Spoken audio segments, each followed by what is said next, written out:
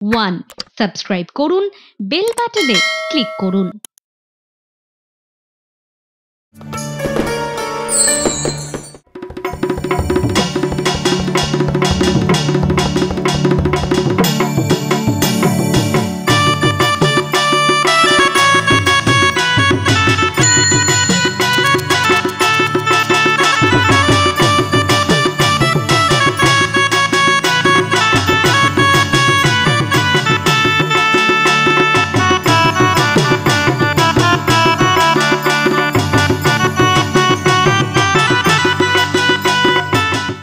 ব্রহ্মা, বিষ্ণু, মহেশ্বর। বিধাতা তৈরি করে দেন ভাগ্য।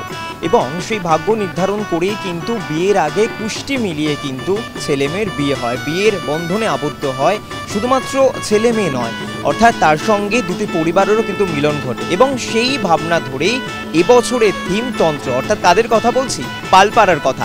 চন্দননগরের পালপাড়ার পুজো একেবারেই অনবদ্য পুজো এবং প্রতি বছর তারা কিছু না কিছু থিমের উপহার দিয়ে থাকে। এবছরও কিন্তু পালপাড়ার পুজোতে তাদের যে থিমের উপহার, আসুন সেই থিমের সঙ্গে পরিচয় করাবো এবং মাতৃ প্রতিমা দর্শন করাবো।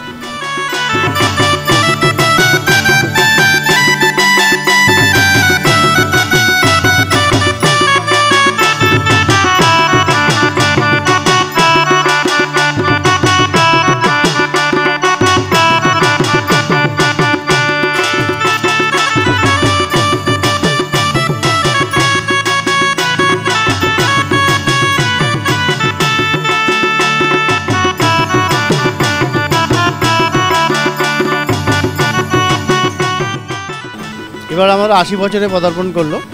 আমাদের থিম হচ্ছে যে এখন হাত থেকে যে কুষ্টি বিচার করে যে বিয়ে থা, হওয়া আপনার বিভিন্ন রকম ইয়ে হয়, সেইভাবে শেকড় দিয়ে ইয়ে দিয়ে, গাছের ইয়ে পড়ে সেই নিয়ে তন্ত্র বলে আমাদের থিমের নাম দিয়েছি তন্ত্র।